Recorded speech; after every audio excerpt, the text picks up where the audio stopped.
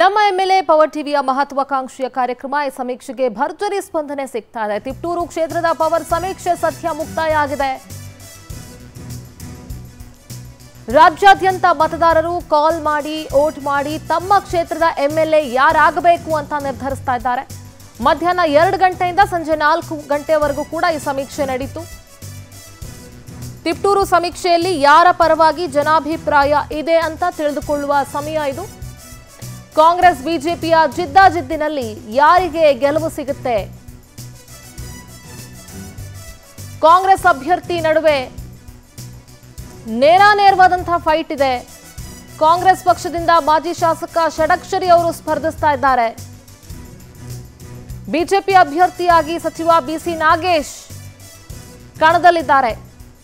JDS ಪಕ್ಷದಿಂದ KT Shanthakumar ಅಖಾಡದಲ್ಲಿದ್ದಾರೆ.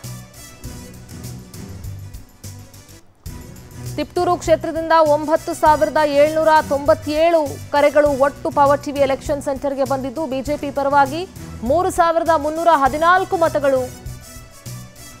Congress ಪಕ್ಷದ ಪರವಾಗಿ ಮೂರು ಸಾವಿರದ ಆರುನೂರ ಎಂಬತ್ನಾಲ್ಕು ಮತಗಳು.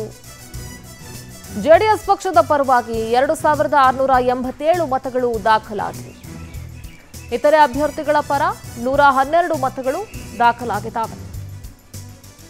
ಬಿಜೆಪಿ ವಿರುದ್ಧ ಕಾಂಗ್ರೆಸ್ ಅಭ್ಯರ್ಥಿಗೆ ಮುನ್ನೂರ ಎಪ್ಪತ್ತು ಮತಗಳ ಮುನ್ನಡೆ ಸಿಗ್ತಾ ಇದೆ ಇಲ್ಲಿ ಬಿಜೆಪಿ ಹಾಗೂ ಕಾಂಗ್ರೆಸ್ ನಡುವೆ ನೇರ ನೇರವಾದಂತಹ ಫೈಟ್ ಇದೆ. ಕೆ ಷಡಾಕ್ಷರಿ ಪರವಾಗಿ ಶೇಕಡಾ ಮೂವತ್ತೆಂಟರಷ್ಟು ಮತಗಳು ದಾಖಲಾದವು. ಬಿಸಿ ನಾಗೇಶ್ ಪರವಾಗಿ ಶೇಕಡಾ ಇಪ್ಪತ್ತೇಳರಷ್ಟು ಮತಗಳು ದಾಖಲಾದವು. ಕೆಟಿ ಶಾಂತಕುಮಾರ್ ಪರವಾಗಿ ಶೇಕಡಾ ಮೂವತ್ನಾಲ್ಕರಷ್ಟು ಮತಗಳು ದಾಖಲಾದವು. ಇತರೆ ಅಭ್ಯರ್ಥಿಗಳ ಪರವಾಗಿ ಶೇಕಡಾ ಒಂದರಷ್ಟು ಮತ ದಾಖಲಾಗಿದೆ.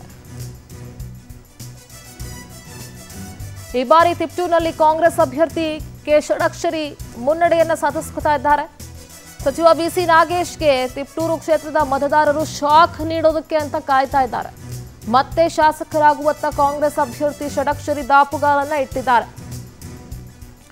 ಕಾಂಗ್ರೆಸ್ ಅಭ್ಯರ್ಥಿಗೆ ಭರ್ಜರಿ ಪೈಪೋಟಿ ನೀಡಿದ್ದಾರೆ. ಜೆಡಿಎಸ್ನ ಕೆಟಿ ಶಾಂತಕುಮಾರ್ ಸೊ ಒಂದು ರೀತಿ ಇಲ್ಲಿ ತ್ರಿಕೋನ ಸ್ಪರ್ಧೆ ಅಂತ ಹೇಳಿದ್ರು ತಪ್ಪಾಗೋದಿಲ್ಲ.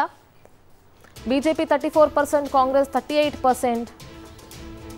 JDS twenty seven percent